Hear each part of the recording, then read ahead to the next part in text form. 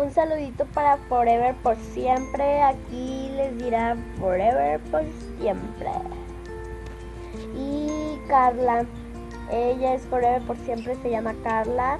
Y bueno, pues me dijiste casi me fusilas porque te mandé un saludo. Perdón, ¿eh? Este, un saludo para ti y... O sea, Forever se llama Carla. Dijo ella. Así que un saludito para ti, Forever. Por siempre. Chao, Carla. Espero que no mires este video que me hiciste hasta grabar, hasta descargar una aplicación. Sin ofender, sin ofender.